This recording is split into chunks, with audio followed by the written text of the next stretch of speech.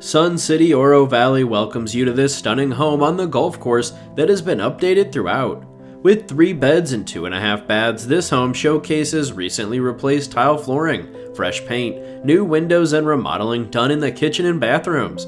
Outdoor living is made enjoyable in your backyard oasis with a hot tub, covered patio, and golf course and mountain views.